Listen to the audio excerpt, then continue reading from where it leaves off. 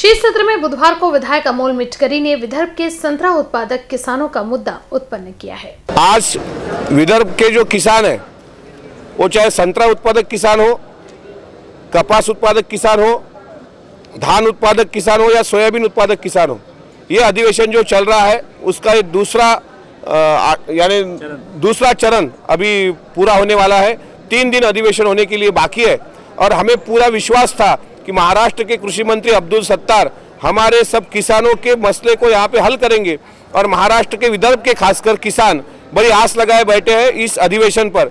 लेकिन हम दो तीन दिनों से देख रहे हैं कि अब्दुल सत्तार नाम के जो महा महोदय यहाँ पे एकनाथ शिंदे साहब ने कृषि मंत्री करके बिठाए हैं उन्हें इस बारे में कोई गलत फहमी यानी कोई दिलगिरी वो व्यक्त नहीं करते कि हम किसानों को न्याय नहीं दे पाए।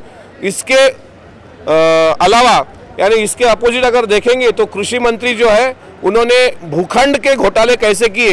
ये महाराष्ट्र सरकार के ख्याल में विपक्ष ने ला के दे, ला देने के बाद भी अभी तक उन पे कोई कार्रवाई नहीं हुई।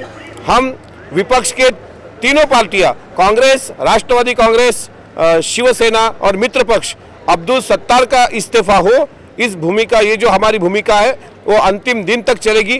और अब्दुल सत्तार ये महाराष्ट्र के भ्रष्ट कृषि मंत्री का राजीनामा सूद समेत हम लेके रहेंगे।